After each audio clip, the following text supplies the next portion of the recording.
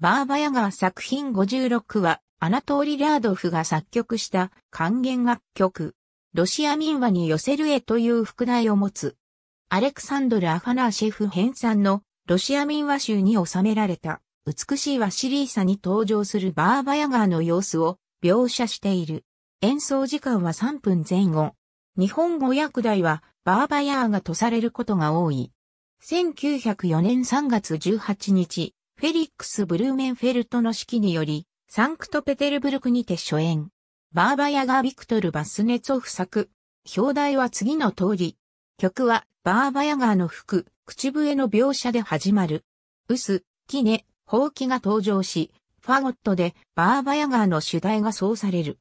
続いて、バーバヤガーの飛翔、森のざわめきが描写され、最後は、急速に静まり、再びバーバヤガーの口笛が奏されて終わる。